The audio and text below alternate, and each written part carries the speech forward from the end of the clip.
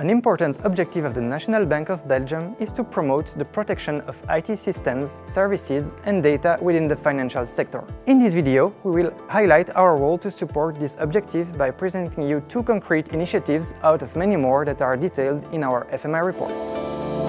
DORA, or the Digital Operational Resilience Act, is an EU regulation that will be fully applicable as of January 2025.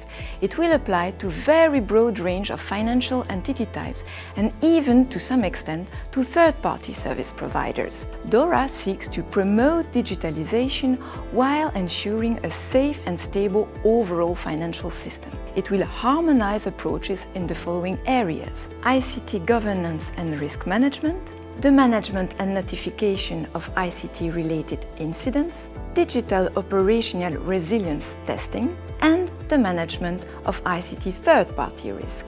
As we speak, the NBB is actively contributing to the concretization of DORA, while at the same time creating awareness within the financial sector.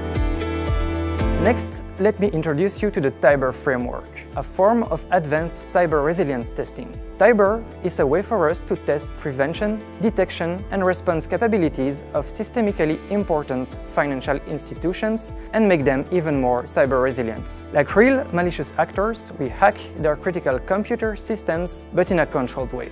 We are currently embarking on our second three-year cycle and have successfully executed more than 17 tests. Those institutions also form a community that benefits from daily threat intelligence feeds and semi-annual events where we share experiences and learn from one another. Working together and sharing knowledge is the best way to increase cyber resilience and to stay ahead of the game.